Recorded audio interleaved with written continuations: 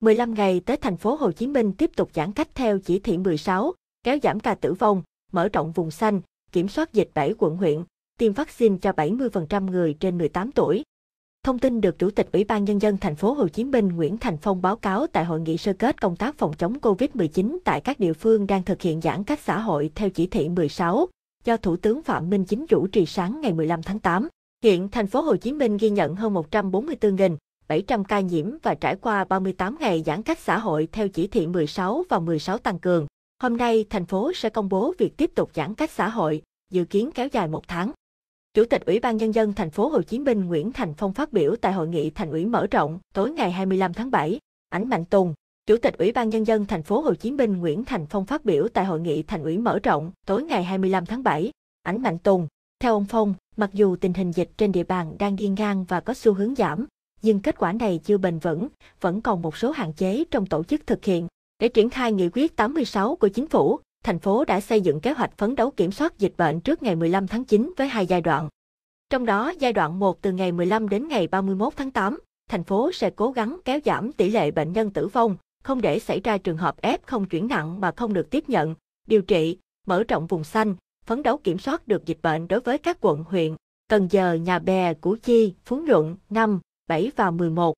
Giai đoạn 2, từ ngày 1 đến ngày 15 tháng 9, thành phố phấn đấu kiểm soát được tình hình dịch trước ngày 15 tháng 9 với các mục tiêu kéo giảm 20% số ca tử vong và các trường hợp nặng. Số lượng nhập viện điều trị mỗi ngày không vượt quá số xuất viện mỗi ngày, không quá 2.000 người nhập viện mỗi ngày, đảm bảo hơn 70% dân số trên 18 tuổi được tiêm mũi 1 và 15% dân số được tiêm mũi 2.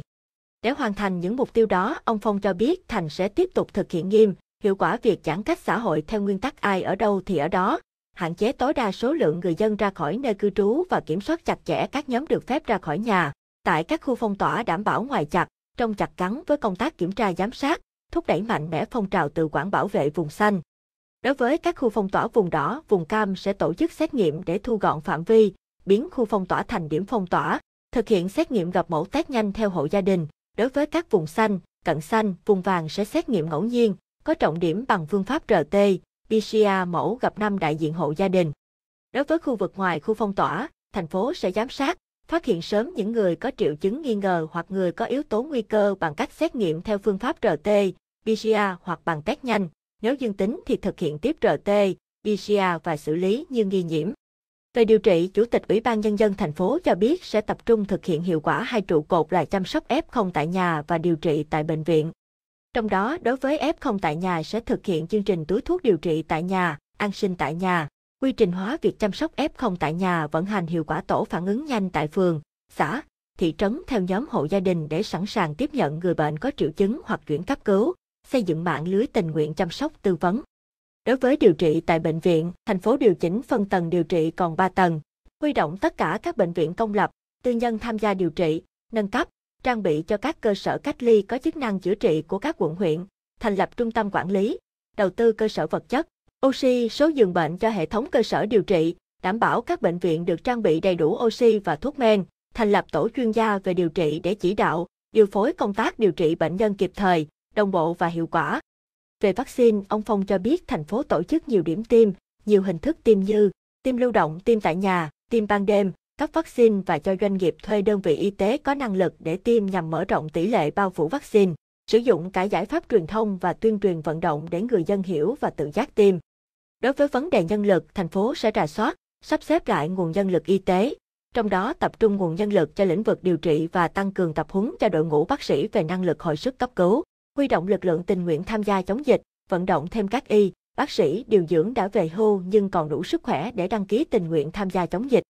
Lãnh đạo thành phố cũng cho biết trong thời gian tới sẽ đưa vào hoạt động trung tâm tiếp nhận và hỗ trợ hàng hóa thiết yếu phục vụ người dân, trung tâm an sinh và thí điểm các trung tâm tại quận 5, 7 và 12, đồng thời sớm thành lập các trung tâm, tổ, nhóm hỗ trợ, cứu trợ với hình thức tổ chức, phương thức hoạt động phù hợp, kịp thời đáp ứng yêu cầu của người dân, chuẩn bị một triệu túi an sinh để sẵn sàng hỗ trợ người dân khó khăn.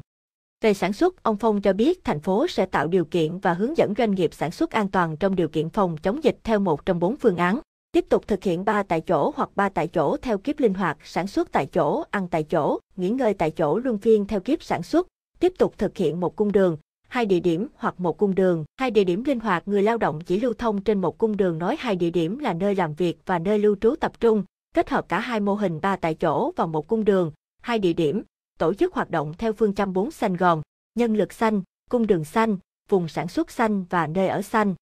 Trước đó, Chủ tịch Ủy ban Nhân dân thành phố cho biết với sự quan tâm của chính phủ và sự hỗ trợ của Tổ công tác đặc biệt Bộ phận Thường trực Bộ Y tế, các bộ ngành trung ương và địa phương, sau hơn một tháng thực hiện chỉ thị 16, thành phố đã ghi nhận những kết quả khá tích cực.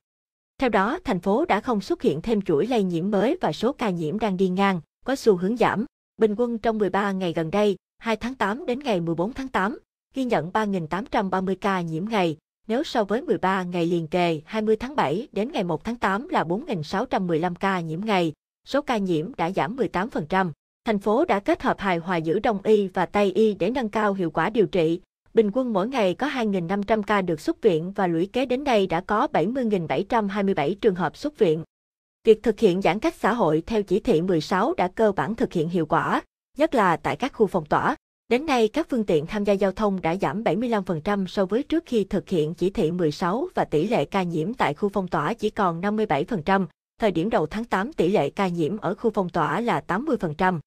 Việc đầu tư cơ sở vật chất, trang thiết bị nhất là oxy đã được triển khai thực hiện tùy theo tình hình diễn biến của dịch. Chỉ trong thời gian ngắn, thành phố đã hình thành được các khu cách ly, bệnh viện giả chiến, các trung tâm hồi sức, bồn oxy với quy mô lớn nhất từ trước đến nay đã xuất hiện nhiều mô hình sáng tạo trong phòng chống dịch như ATM oxy, biệt đội taxi cấp cứu F0, mô hình tổ y tế lưu động. Đặc biệt là các mô hình tự quản vùng xanh của nhân dân ngày càng được nhân rộng. Đến nay, thành phố đã có 10.248 vùng xanh. Đây là mô hình vừa góp phần nâng cao ý thức của nhân dân vừa ngăn chặn sự lây lan của dịch.